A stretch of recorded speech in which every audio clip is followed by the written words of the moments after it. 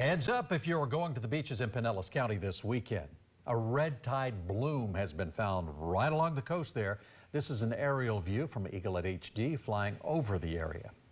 Health officials say the bloom can cause minor health problems for those in the area. And so far, they are urging you to be cautious and keep your pets away from the water and any dead sea life as well. News Channel 8's Brittany Muller is joining us live. She's at Pass-A-Grille. Brittany, tough duty, I know, to be out there on the beach. It's, it's lovely, but the, the, the possible stenches in the air, Yeah. perhaps. Yes, and I have a scratchy throat because of the red tide, and it hits you as soon as you get out of your car and onto the beach. Red tide could cause respiratory issues for people the next 36 hours here in Pinellas County.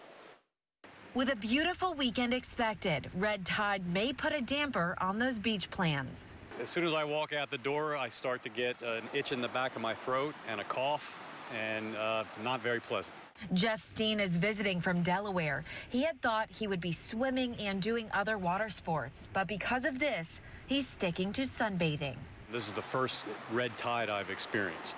While red tide is not affecting every beach in Pinellas County, it is here at some parts of Pass-A-Grille. It's the, the, the smell and the, uh, the dead fish floating. That's, that's the worst part. Dozens of small fish washed up dead along the shore. The Florida Department of Health in Pinellas County says some may have eye, nose, and throat irritation. We're just walking, but you can definitely notice the difference with how it is usually and now that the red tide is here. The National Centers for Coastal Ocean Science says Pinellas, Manatee, and Sarasota beaches could experience a moderate to high chance of respiratory irritation from red tide for the next 36 hours. And you'll experience a higher risk of irritation when the winds are blowing onshore. Reporting live tonight in Pinellas County, Brittany Muller, 8 on your side.